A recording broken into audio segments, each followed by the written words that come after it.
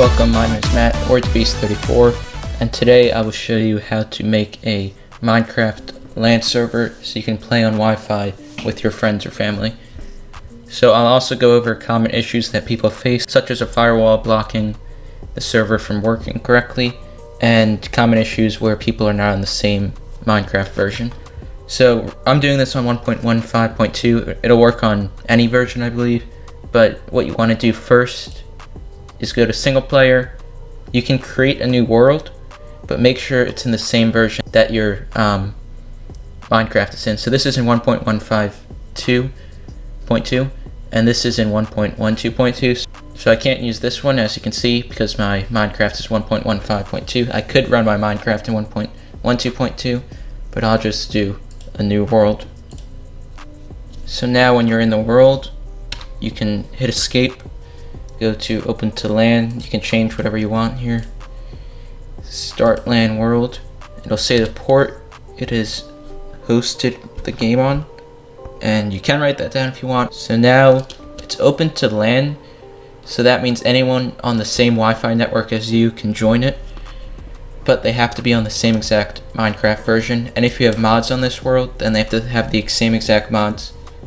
So now we'll go on the other uh, computer to see, but this this guy will have to be open for the other computer to join. So the host computer has to be open in order for the LAN world to work.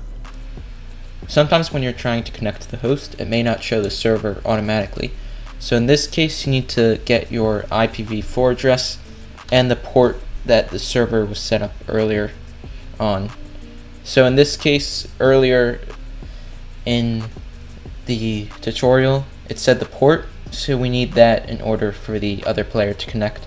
So what the other player will connect is your IPv4, the host IPv4, colon the port. So in this case, the port is 50685 and now you need to figure out what the IPv4 is of the host computer, which is this computer I'm on right now. So in order to find the IPv4, you need to go into CMD, type IP config, locate the thing that says IPv4 address, and just copy that down, write that down somewhere. That's your IPv4 address then you do colon port. So what this is, is what anyone who wants to connect to this server should enter. They have to be on the same Wi-Fi network and they have to be running the same Minecraft version in order to use this address. So on the other computer, I'll show you what to do now.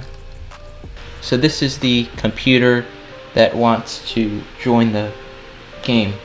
This is not the computer that's hosting it. They haven't done anything. They've not opened it to LAN. This is just someone on your Wi-Fi network who wants to join. So what they're going to do is that they are going to hit multiplayer. They're going to scroll down to the bottom. Sometimes it will show up the server here and you won't even need to enter what we just did with the IPv4 and the port. But in this case, it's not showing up for some reason. So what you want to do is you can either direct connect and enter the address or you can add a server. I'll just go with direct connect. So now enter the IPv4 address, which is what we got from the host computer before, and enter the port, which also showed up once we made the server. Hit join server once you have your the host IPv4 and the port, and you will enter the server. So there is our other member of the server. You can hit tab to see who else is in the server. Also another important thing that I forgot to include was that each time you leave your server, like I just did, each time the host leaves, leaves the server, you have to reopen it to LAN. So I'm going to go back in, and as you can see, it it's not open to LAN anymore. So each time you X out, you have to open it to LAN. You can change these settings again if you want, and then start LAN world. It'll change the port, and all you have to do for users who want to join, they just put the same IPv4 that they put before, but they just change the port number to whatever it shows here. Because a LAN game will randomize the port on your server. Now for common issues that people face in creating the servers are the firewall blocking it basically and them entering the wrong IP address. So make sure you're entering the correct IP address, which is from the host computer, the one I'm on right now. And make sure you are entering the correct port, which will show up once you start the game. Another issue people face is that the host computer, they try to join the server, but the host computer doesn't have the world loaded. In order for you to join a LAN server, the host computer, which is the one I'm on right now, has to have the server up and running, or has to have the world up and running. So if I shut this down and tried to get the other person to join, someone else on the network, it would not work because I'm the host. I'm going to show what happens in McAfee and in Windows Firewall. So I'm going to go to change settings, firewall. Then I'm going to go to internet connections for programs. Sort it alphabetically by clicking that twice, so it's the up arrow. Now go to J. So go to Java Platform SE binary. So this is what you need to change. It'll be on designated ports and on. You want to change that to all devices and off on each of these instances. So in order to change that, hit edit. Change this to open to all devices and turn off NetGuard.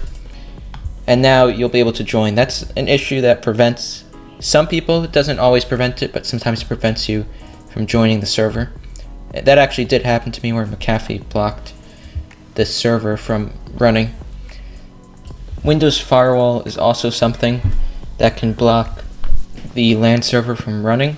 So in order to get to this, you want to go to Control Panel, System and Security, or you can just search it in the bottom left, search Windows Firewall, and just click here or actually or you would have to click here. But basically once you get in this section, go to allow an app through Windows Firewall. Once you're in Windows Firewall, you want to go down to J and for some people it may show Java Platform SE binary and then you want to enable that so it can access through the, through the firewall if it's being blocked. So hit change settings and then you would just uncheck Java Platform SE binary leave a comment if you have any issues with the LAN server, and I will do my best to get back. If you did enjoy, don't forget to leave a like and subscribe, and also check out my new graphics Fiverr store in the description if you would like to. Thanks for watching. I'll see you guys next time.